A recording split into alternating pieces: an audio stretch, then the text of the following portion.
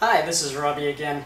Today I want to do a quick little video to show you how to get the Sony Speedlight, the uh, F42AM, to work with a radio trigger. It's kind of, this particular Speedlight has a bug with it.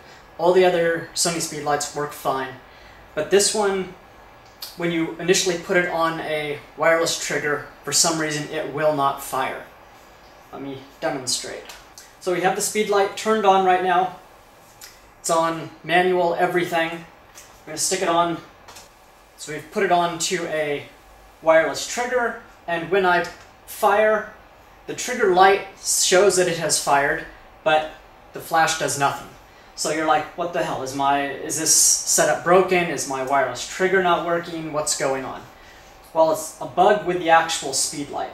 In order to fix this, you need to stick it on top of your camera and then take it off of your camera.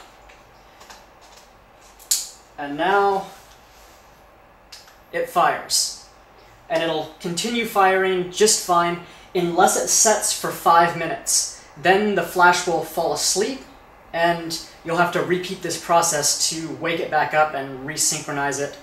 I'm not exactly sure why it does this, I've also read you can adjust the uh, timeout uh, of this flash beyond five minutes. I've never attempted that, but I think it might be possible. So if you have the uh, F42AM flash and you try with wireless triggers, wireless radio triggers, and it's not working, this is what you need to do. You just need attach it to your camera, turn the camera on, put it back, you're good to go. Hope this helps. Bye.